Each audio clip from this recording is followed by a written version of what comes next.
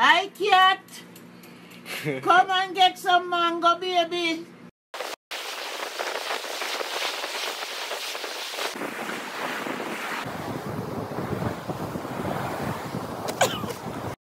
One, two, one, two, three.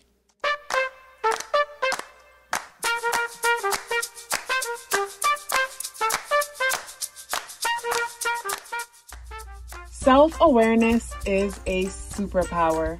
My name is Kathy LaDonna. Welcome to Soul In Vibration.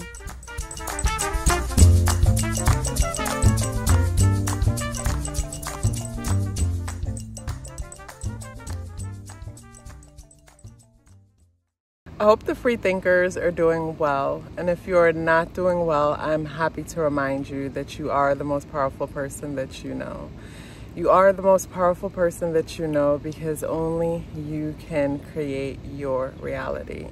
So even though this video is a timeless video because, you know, whenever we hear a message and resonate with it, like whatever is going on at the time when the message was made is all a part of just you know, inspiring and creating that message. So I was reflecting on how, you know, right now Mercury is in retrograde in the sign of Libra, and even Mars is there too. And Libra, and not to mention a new moon that we just had.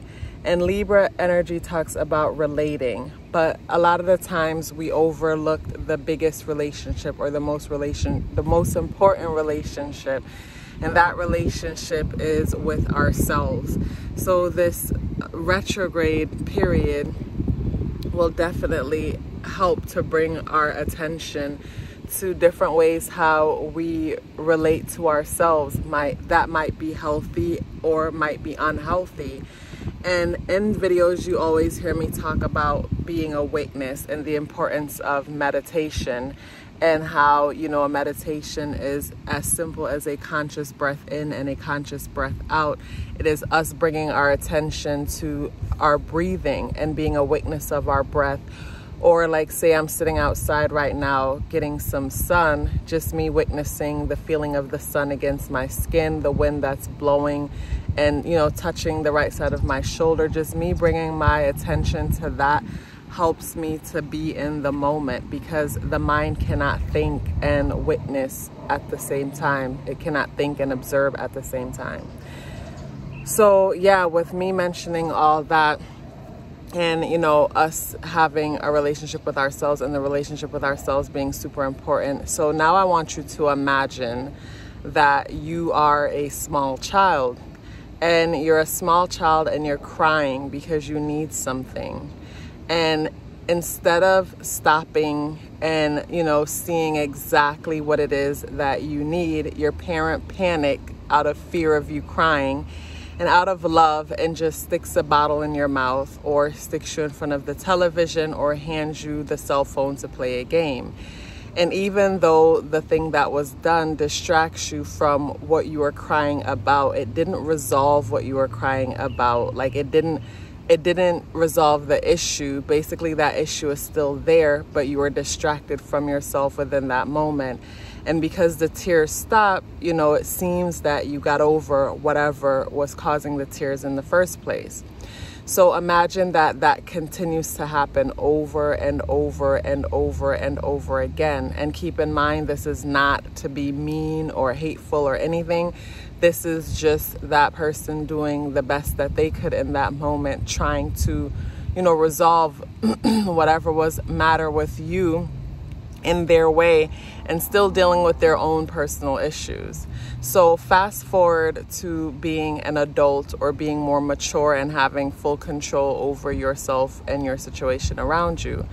And pay attention to how, whenever we feel um, triggered or we experience certain things that create negative emotions within us, how we do that same thing of, you know, sticking a bottle in our mouth. That might be us eating to numb the pain or sticking a cigarette in our mouth or, you know, smoking something, drinking something, watching something. Basically, as adults, we also tend to ignore our inner child.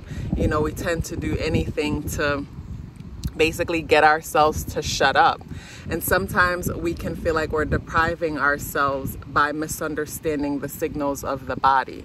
When I say misunderstanding the signals of the body, what I mean by that is, say, for example, whenever you feel powerless for whatever reason, the first thing you might do is go to your favorite restaurant. So, in a moment where you're triggered and you feel powerless, your body might tell you that it wants to have a certain thing. And this is not to misunderstand the difference between when we're nutri- nutritionally deficient and our body is telling us that we need something because that thing has a nutrient in it that we need, and the body is just that smart. But yes, the body has memory, so it might tell you, oh, you want to go to your favorite coffee shop or whatever. And just the idea of being in that environment, you know, feels like it's calling you and it makes you feel good.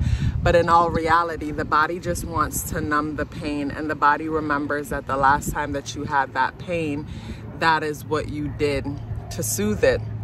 So it's going to give you those memories or make those suggestions in your mind. But this is where the importance of being still comes in and being a witness. Because in that moment, if we attend that inner child, the inner child within us that is upset or frustrated, and, or feels triggered about whatever just happened, if we become still and ask ourselves, what do I need in this moment to, you know, what do I need in this moment? What do I need in this moment? You know, if we're still, basically the answer will come to us. And a lot of the times, what we need is just to be in the present and observe what we're experiencing and just sit there with it. You know, I find that our inner child is just like a child in the sense that and our inner child is a child. It's the truest and realest part of who we are before our conditioning.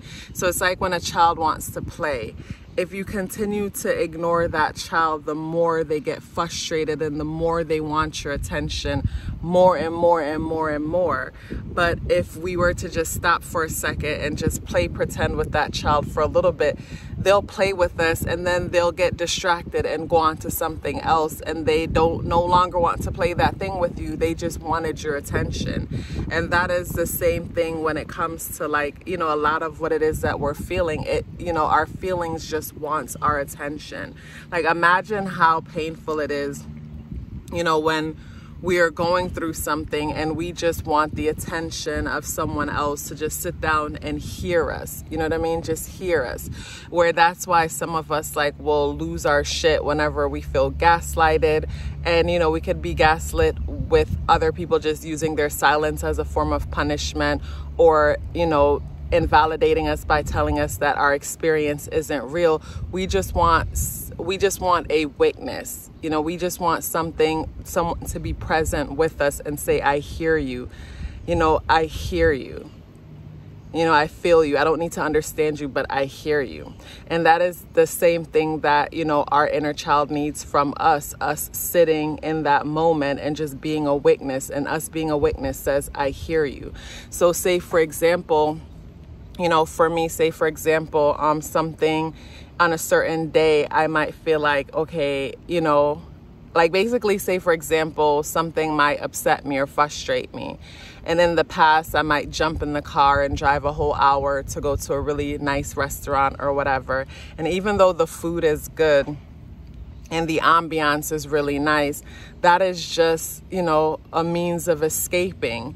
And in that moment, I went to that place, I did that thing, and I feel like I'm satisfied when, in all reality, when I went there, the food that I ate basically numbed me down and kind of put my inner child to sleep you know, and it put it to sleep for a little while until, you know, that trigger happens again.